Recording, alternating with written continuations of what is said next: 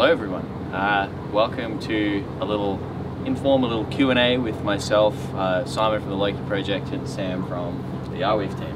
Hi. And uh, yeah, we're here today to answer a few community questions that we had posted.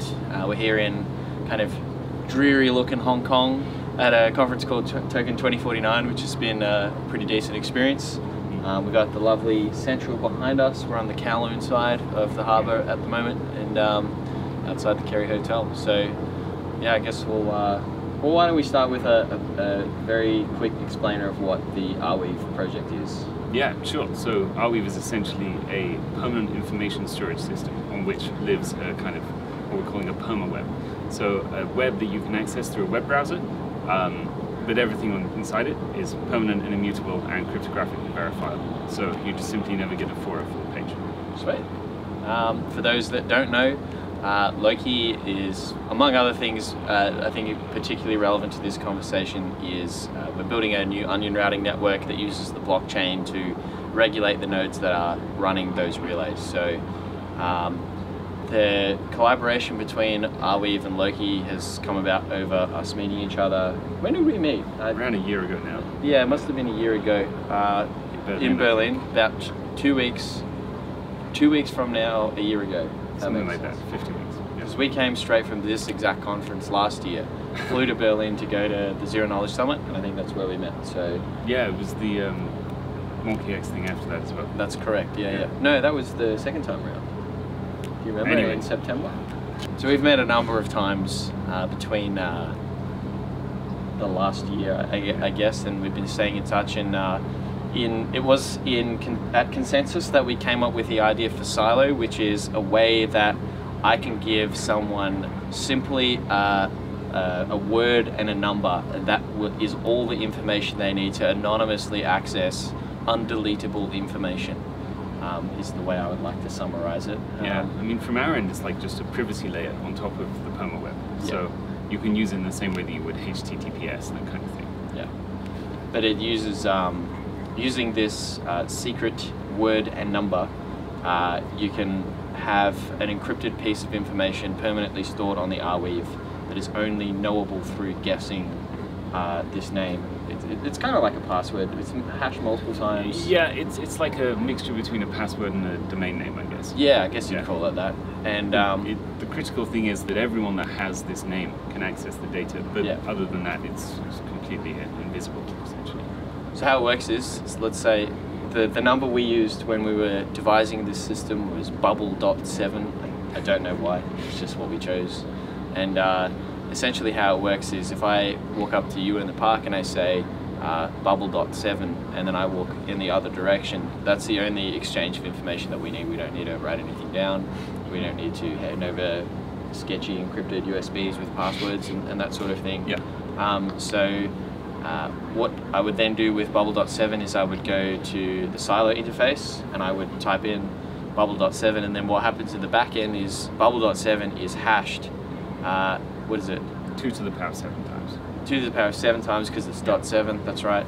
Um, and then the result of that is split up into two parts. One is an identifier that I can use to look at the Arweave and go, I would like this transaction on the Arweave.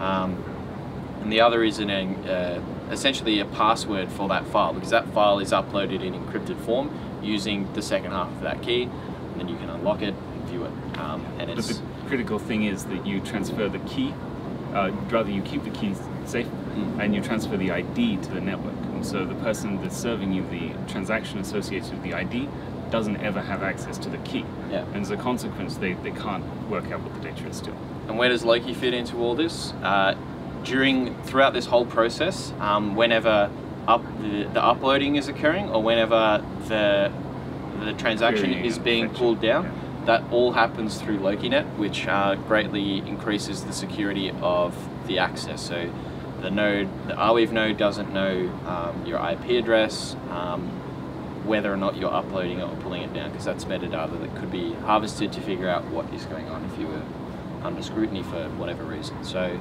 um, yeah, that's kind of a summary of what Silo is. Um, Development-wise, Silo already exists on the Arweave web, web extension, um, and on our end, we are sort of halfway through developing a gateway to be able to access it uh, using the Loki testnet at the moment.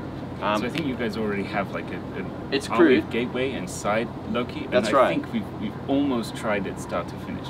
Yeah. But uh, yeah, because it's testnet, it's kind of sketchy. it is it is a bit sketchy, but it's getting there in the end. And yeah. Um, so yeah, that, that's the the Arweave Loki silo partnership. Um, and over the coming you know months as LokiNet evolves, um, the user experience through that will get better. We'll probably design a, a, gateway to make this really seamless for anyone that's interested in using this uh, service. Um, but I guess we'll get into the rest of the questions yeah. now. I mean, I think the, the one thing we didn't cover that's really nice about it is that you you have this address and you just put it into the URL bar of your browser, just yeah. like normal.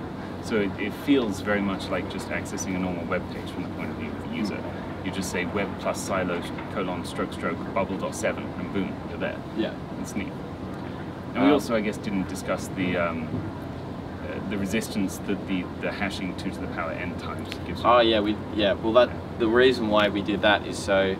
Uh, rainbow tables. Rainbow basically. tables. So rainbow table attacks, for those that don't know, is uh, essentially where you take a hashing function and then you grab a dictionary of words and you just basically produce the result for all of those words. And then you have they already exist for almost all hashing algorithms. Yeah, so you can have um, a database that can tell you a very large number of results for any given hash without you having to actually uh, go and guess it or brute force the, the hashing. So what you don't want is to have just bubble because bubble's going to be very easily discovered and then once you discover the hash result of bubble and you try and look at that on the Arweave, not only can you find if it exists or not, but if it does, you can unlock it as well. So we wanted to make it a lot harder uh, for an external attacker to guess uh, the result of a hash and find something that the user wouldn't want them to. So.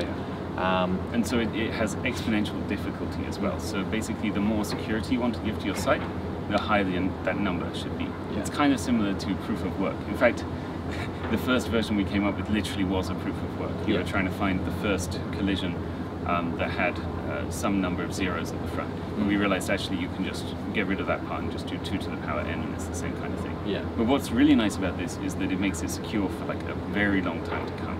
You just keep increasing that number as the uh, power that computers can give you increases over time even 2 to the power of 7, the example that we gave, is like already. It's it, good enough for now, but like. Yeah. I think 2 to the power of 15 is probably a good place to start. Or you could even do 2 to the power of 100 if you were really keen, but you might be sitting there for a while. Yeah, exactly, yeah. And as like as computers get better, people just scale that number and the protocol doesn't need to change it. Yeah. Um, all right, well, let's get into the yeah, um, let's do it. The community questions. Could you elaborate a bit more on Blink? Uh, okay, well, very quickly, Blink is a Loki feature that will allow people to send transactions with a very high probability of confirmation in under five seconds.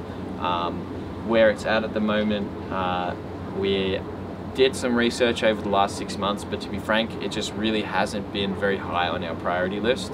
We think that the primary uh, products of Loki are LokiNet and the Loki Messenger, so almost all of our resourcing has gone into that. The work we have done on core has been focused around making staking a more enjoyable experience. Um, but that's only because we are focused on the Messenger and LokiNet, because if staking is difficult and it's unstable and insecure, then maintaining a high quality network is going to be very difficult. So um, we haven't really been focusing on Blink just yet. Uh, it is on the roadmap. We are probably going to have it done by the end of the year. Uh, but it's a cool feature that really brings out the currency use case for Loki, um, amongst other things. Yeah, what's so, the mechanism behind that? Uh, so how it works is you get uh, a quorum of uh, service nodes that selected each each block or each group of blocks, uh, and basically uh, you can spend extra money to propagate transactions to that quorum, and essentially you're just telling the network, okay, if this group of service node generally agrees that this transaction is going we'll to be included yeah, into okay. a block, then we will nice. accept it. Yeah. So it, it, it's very simple. Yeah, um, cool. But it just means that you don't have to wait for something to enter a block before it goes in. Because once it enters a block, uh, it, and there is a reorganization, it still sits within the quorum. So it means it, it will be included at some later point if there is a reorganization. So what about if there's a reorg and then there's another transaction. That goes in. Yeah. Uh, well, you just refer to the next quorum. Ah, okay, interesting. Dash has been doing this for ages now using Yeah. instant send. Yeah, so it's- it's, it's, it's- not a new idea. We're just basically copying it. This, but yeah, it's a good idea. Like, why wouldn't you? Um, Open source networks. exactly right. Open source development. Um, Yeah. uh, okay, how will the Silo partnership benefit Loki token holders? Well, we don't know yet. Um, I guess uh, the more stuff we can get used on LokiNet and the, you know, I, I imagine there'll be some uh, cross interest between our both our user bases for various different reasons. So, you know, doing partnerships like this and collaborating with um, other projects, as we both know, is uh, something that is definitely worthwhile doing because it allows you to uh, build that user base and from having a large user base comes with it network growth and that's I think going to be the main determining factor in what brings value to the Loki network overall. Yeah, I mean, at this stage, I think we're, we're trying to build the infrastructure for a decentralized web Mm. in general. Um, what people use that for eventually is like an open question, but getting the groundwork in place is really important. And here there was a very obvious crossover in what we were doing, so Mm. it's nice to be able to join it up. Yeah. Yeah. All right, next question. If these two merged, would it be possible to create a decentralized VPN with storage? That's exactly what it is, basically, except slightly better. It's not just a VPN; it's Mm. a, it's a, well, not quite a mixed net, but pretty close. Yeah, I mean, Yeah. it's it's an onion routing network. It is. There's been this concept of a decentralized VPN floating around now for a few months. I've seen some projects say that they are doing a decentralized VPN, but you really don't want to use a decentralized VPN because Yeah. what that implies is that it is a single node that you are trust completely trusting with your internet connection. They can And see you're assigning that node at everything. random, which is like Yeah, it's crazy. They can see everything you're Yeah. doing, um, and you don't know how to contact them. They're not a for-profit. Well, they might be for-profit, but there's really no requirement for them to pander to your needs specifically. You're much better off using a centralized VPN service because at least then there is some recourse And if something bad happens. trust to someone that you actually trust Yeah. rather than assigning it to a network of random people essentially. Yeah, you're you're just you're eliminating the only uh, thing required to be able to use a VPN, which is trust. You now can't trust anyone, and you're going to use it anyway. It's, Yeah. it's ridiculous. So I think the only workable decentralized VPN essentially is like an onion routing network of some kind. Definitely. It's basically the direct replacement. yeah, because i in order for a decentralized VPN thing type of thing to exist, you have to eliminate the the requirement for trust. So that's exactly what happens in onion routing. You don't have to trust anyone in the if you select them randomly and you get to select who they are, you don't have to trust any one of those nodes because they don't they're not able to build a complete picture of your internet connection. The exit node can see what you're looking at. The guard node knows which other two nodes you're uh, sorry not the guard node. The middle node knows the other two, and then the front one knows who you are, and the next node. But so long as you uh, are confident that the network is not facing a cyber attack, um, then that model is completely trustless. And you can increase the security of that by increasing the number of intermediaries between the first node and the last node. So you could have, you know, a seven hop path where you have, um, you know, uh, entry node and then several middle relays and then finally uh, uh, an exit. So I think what's really exciting to us about the Loki project is the Sybil resistance. That's the thing that really makes it stand out. It's so cool. It's nice and clever. Well, it's it's theoretical, of course, um, and it's financially based. Um, But that, but these decentralized networks often are. It's just incentives essentially. well, yeah, incentives and, and preventative And mechanisms, but yeah.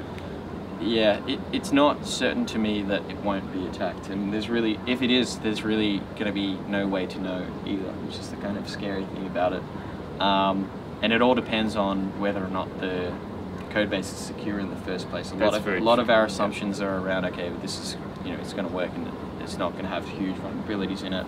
That This is a funny thing about the whole crypto space. It's all Mm. based on like, you know, there are these people going off and these building these amazing proofs and it's like, yeah, okay, that's cool. But when you implement this, what's the likelihood you're gonna leave some accidental backdoor? And it's like, well, just like exactly what happened in Zcash. Exactly. like, yeah. I mean, they spent so much time building this really beautiful system, uh, like at a theoretical level, and then the, the practical implementation them down. So Yeah, and that's happened with a lot of open source specifications over the years as well. And just like a lot of academic papers come out with these theoretically nice systems, but in practice, like my it's my usually my preference to rely on cryptography and implementations that have that are older or simpler and Right. not as exotic. Yeah. Uh, for this exact reason, you're less likely to run into these major vulnerabilities. Precisely. I think the, the simplest cryptographic systems are typically the best. Mm. Uh, just for the sake of like implementation details, you're just less likely to get it right. Yeah, it depends. Like I think um, eventually Loki might be looking at moving to a zero knowledge based Really? system.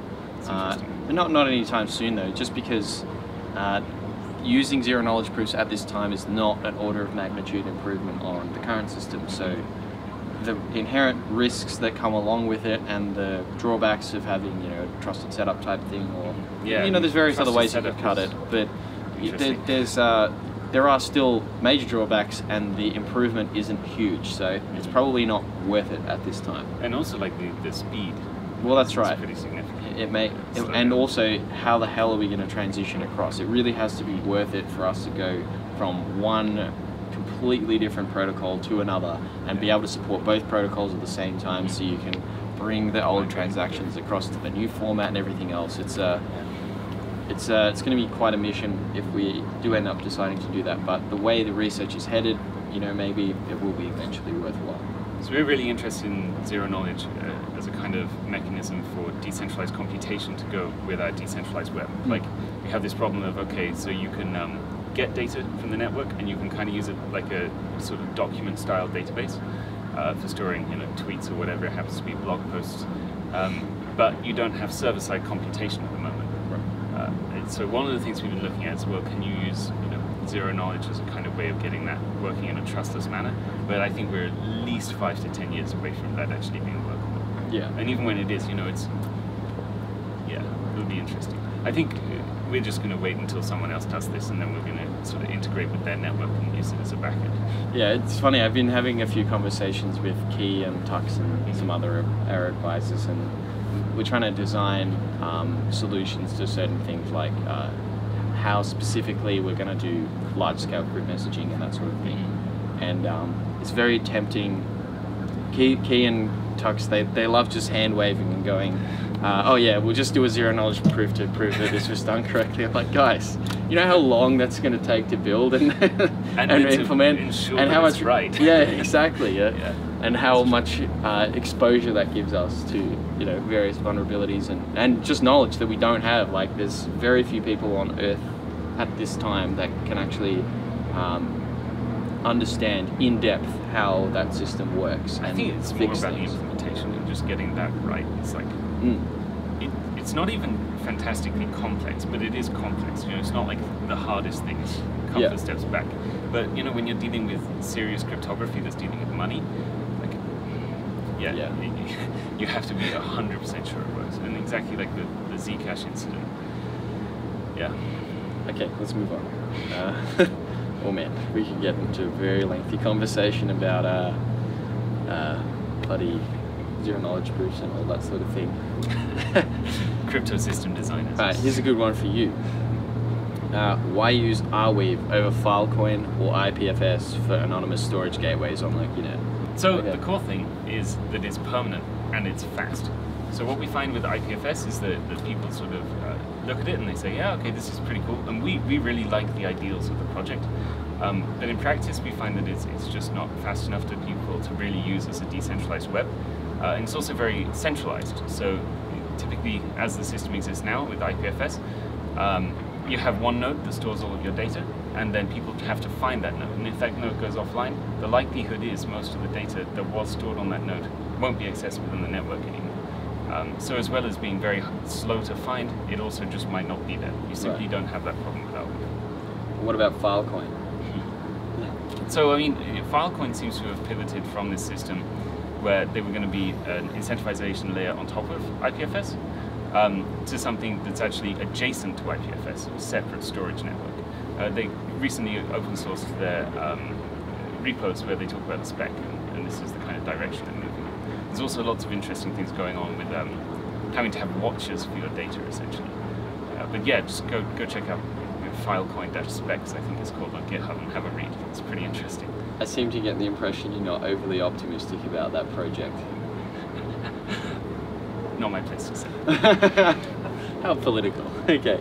Um, any thoughts about archiving data on the Arweave and paying in Loki? A snap could be created that holds Arweave tokens and provides a conversion service, allowing users to pay in Loki to upload data. That sounds like a great snap and you should build it.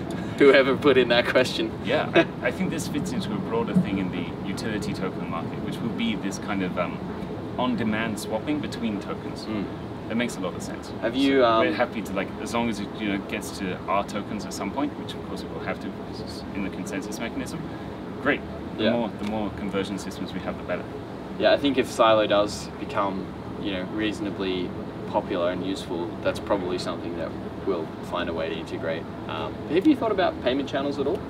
We have. Uh, basically, it all comes down to this block weave structure, which is like mm. built to memoize the state, so it's very, very small. And so you can join the network by just downloading like a few blocks, and you don't have to have the rest of it. So we don't have this big UTXO tree right. kind of thing going on. Um, so you could still do it, but there's more complexity, essentially. It's okay. the same reason that we don't have smart contracts in the system, and we're sort of joining with other networks that offer smart contracts instead of tacking them onto our own. Right. And also, I just think the decentralized ecosystem, it's better if we just work with others' projects that are really good, so we mm. don't have to all do everything. That's no, not going right. to work. Yeah, much better if we all like stick to our own um, what we're really good at. So for us, it's really storage of data for long periods of time and serving it to web browsers. You guys, it's privacy led.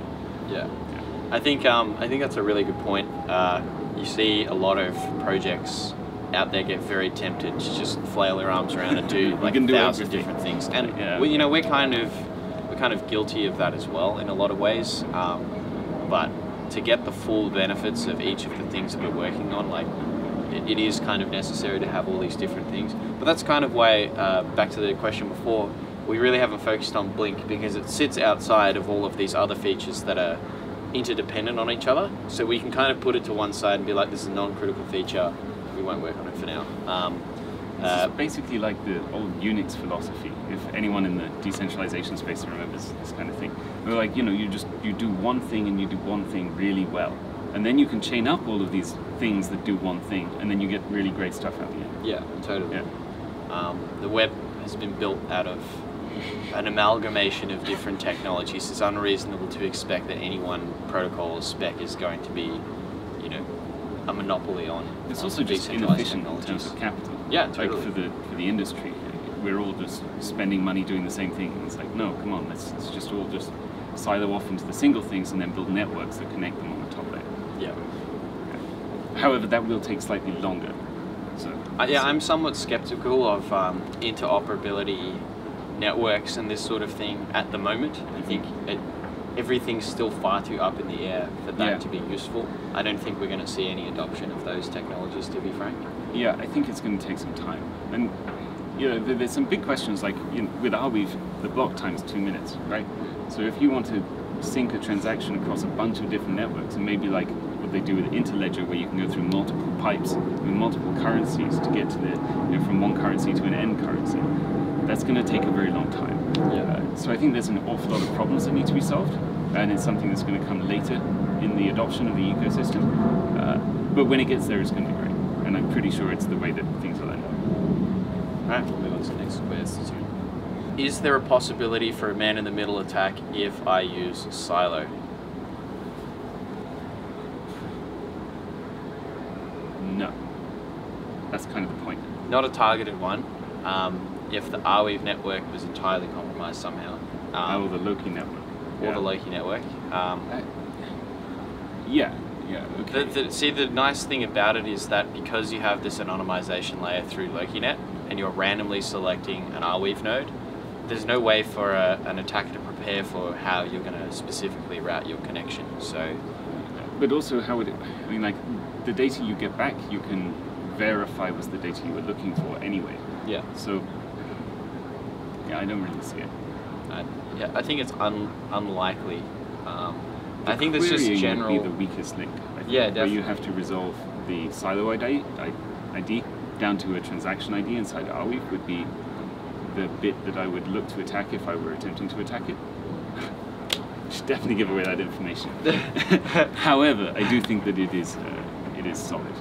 Yeah, I think uh, well, onion routing is a very proven process to tunnel through the internet. So Mhm. man-in-the-middle attacks already are quite hard to do because you're using an encrypted connection. So you know the more traditional attacks of just sitting somewhere behind a router and watching unencrypted traffic is really not a threat.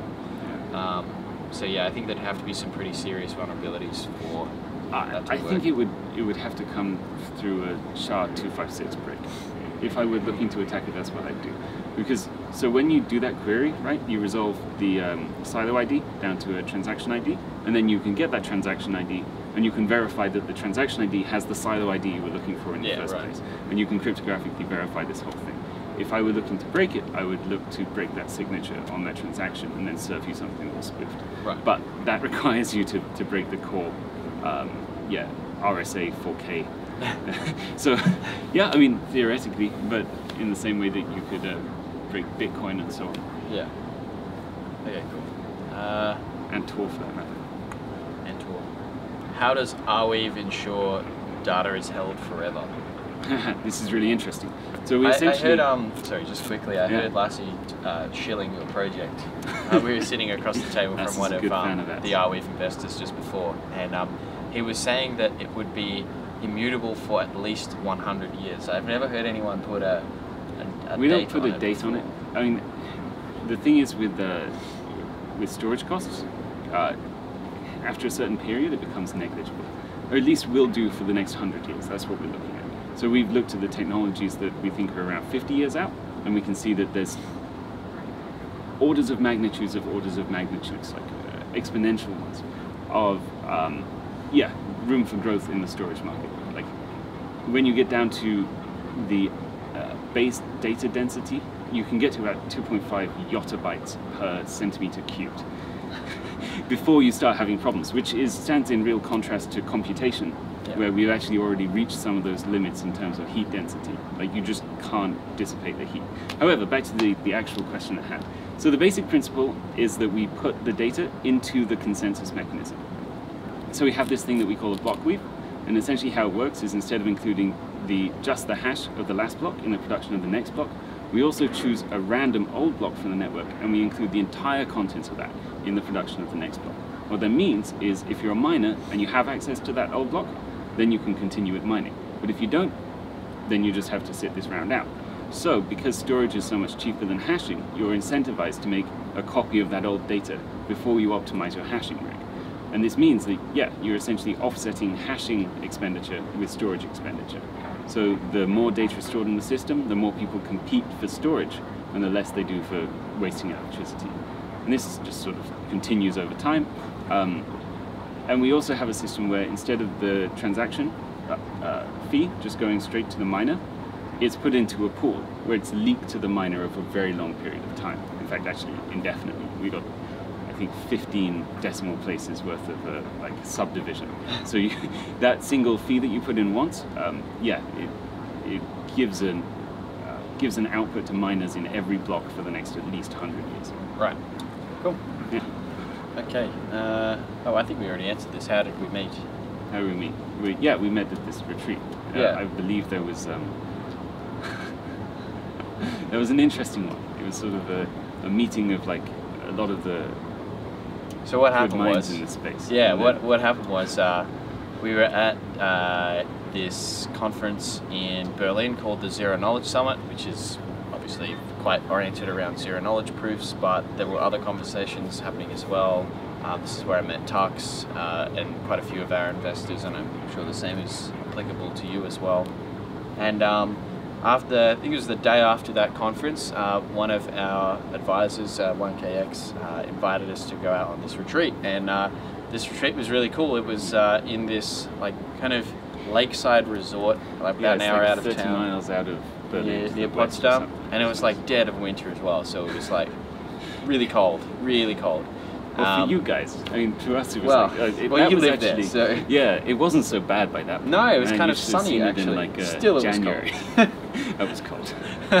um, yeah, so we were at this uh, lakeside resort, and um, yeah, essentially it was just like two days of hanging out with some really top-notch uh, investors, projects, Founders, um, yeah, found, there were lots of founders there. Um, I was there with Kee, Um, we hung out with Sam quite a lot. There was this conversation thing that happened on the last day where I had this uh, now infamous debate with uh, this guy that was working on a supply chain blockchain project. But it's actually it, I don't actually remember the name. I do, but okay, let's leave it out. Yeah. Okay. well, no, because I bumped into them at Consensus a couple months later, and and uh, like it wasn't the same guy, but it was one of his colleagues, and he brought it. Oh, you're the Simon from Loki that, that debated the thing, and With um, the whiskey bottle between you. yeah. So we had this whiskey bottle that I'd bought from a supermarket down the It's road. really awful whiskey. Yeah, really terrible. Terrible. It's like 60 euros for the bottle or something. and then, uh, yeah, so the rules were like whenever um, the audience thought that a point that one of us made was really good, the other person would have to drink it. This was classic like debating rules. cla- Very- classic very debating normal. rules, Yeah. very normal. Uh, 10 in the morning as well, I might add. Yeah. so uh, it was quite funny. Uh, and then the conversation broadened out from there. But um, Mhm. no, it was a really good experience. Uh, met a lot of founders and uh, investors, and shortly after that uh, retreat, we actually closed our ICO around that time. So um, it's definitely uh, definitely a good experience. And What I found more interesting than your whiskey debate, no offense, That's was okay. uh, It wasn't the that day before we, we had this other debate. It was kind of like uh, how are we going to use blockchain to actually do useful things in society. And at the time, the outcome was pretty pessimistic. mm, Uh, but now, a year on, I actually think things are moving in that direction way faster than we'd anticipated, which is really good. yeah, I, I mean, I think we're starting to see a lot of um, you know blockchain-oriented products actually getting finished and getting released, which Yeah, is nice. You yeah, know, yeah. and now it's going to be you know probably a little while yet while optimization and early user testing happens, and then. You, you know, if, if you look at the timelines of traditional tech startups and, and new technologies of that sort, like we're, we're we're expecting too much to happen too quickly. Like it, the internet wasn't built in a day. Yeah, well, this is the thing. They're not just normal startups. It's not like you just take uh, Twitter and then you say Twitter for cats. Yeah. Okay? And you can uh, crash the thing together in like a weekend of hacking. It's Mm. easy. But no. Yeah. There are some very interesting scalability problems that happen. But broadly, it's kind of simpler when the when the model is already there. Yeah. What's happening with all of this decentralization tech is that we're going through the first phases where we have to yeah, essentially go like the internet did from ARPANET to what we now call the internet, and then to like Web 1.0, and then Web 2.0, to get you know back to where we are, except in this sort of decentralization space. So there's a lot of serious infrastructure that, that has to be built. What we're working on essentially, um, and yeah, we're starting to see more and more of that stuff actually reach you know workable products. And of Mm. course, after that, there's a kind of time where, where things have to be refined. But now we're slowly, slowly getting to those periods where we might actually see adoption of that kind of thing. So I, I think that's really exciting, and it's and it's faster than we'd anticipated as well, which is great to see. How did you find the conference, Simon? Yeah, I found the conference to be. It's very interesting seeing how it's changed compared to last year because I was here this time last year, as I said, and uh, yeah, there's a lot less Russian scammers to begin with. Okay, okay. Um, you, can't, you can't say yeah, that. I'm saying that there are there are a lot less Russian scammers. I see.